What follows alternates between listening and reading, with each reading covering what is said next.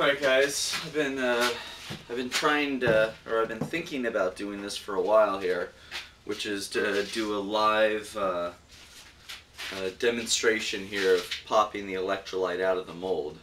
Uh, we'll see uh, how long it takes. Sometimes you get lucky, sometimes you don't. But here, let's go ahead. So I'm going to start off just by trimming the fiberglass tape that's holding the left left and right sides of the fuse together. Usually start off by removing these little pieces here. I laid this up, uh, uh, well, I joined it probably about 12 hours ago, so it's uh, it's definitely set up enough that we can pop it out. The, the fuselage halves were done um, longer, so we're talking uh, probably about almost almost 24 hours ago, maybe a little less, since the fuselage halves were laid up.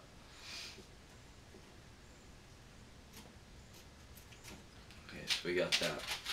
So next step, remove all the clamps.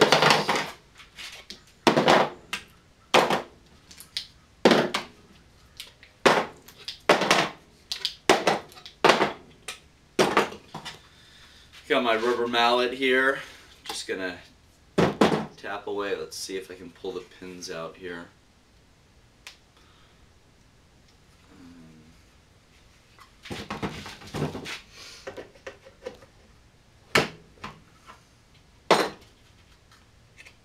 There's one.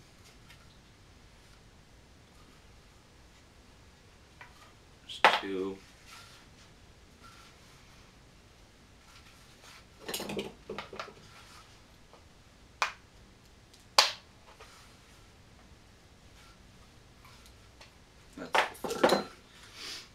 Oh.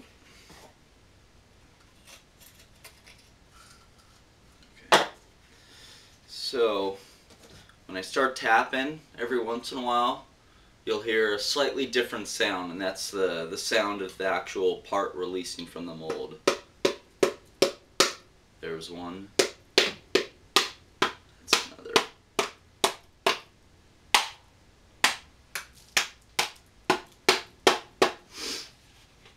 This is why I make the molds nice and thick so that it can handle uh, the stresses of, of this step here. But it's kind of a necessary evil.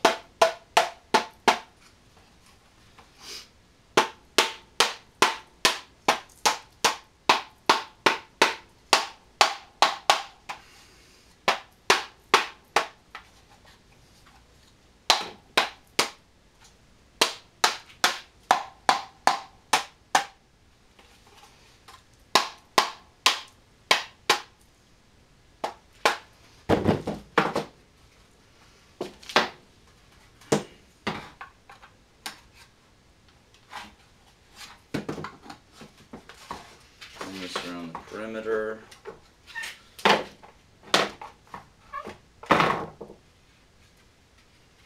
Okay. No paint inside here, so that's good. Good. First side. There we go. Now let's see about the second. This is the tougher side. Now sometimes I'll just kind of just kind of twist it a little bit. In case that's necessary. Try to do it so you guys can see it.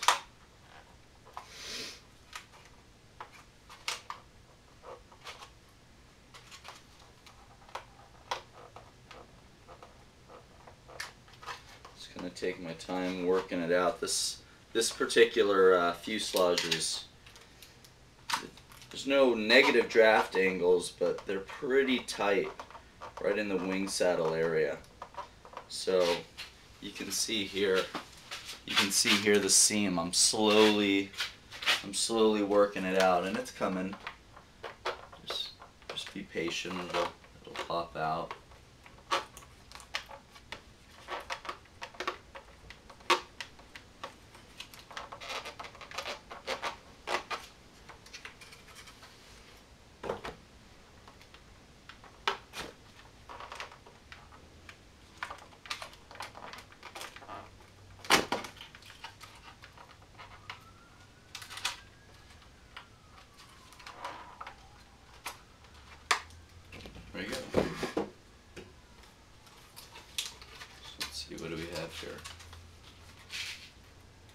This one feels pretty light.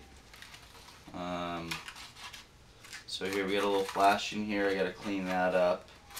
We got a slight little bit here. It's not a it's not a pocket, but it looks like looks like the primer just kind of stayed in the mold, but it, it feels smooth. Um, and uh, uh, next step after that, I would just kind of clean the flashing off. Just go around the perimeter. No big deal.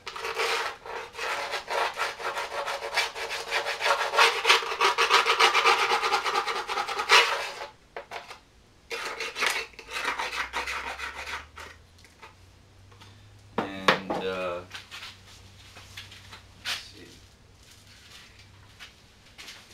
And here's a Kevlar hatch that I laid up yesterday, or popped out yesterday. And uh, there you have it.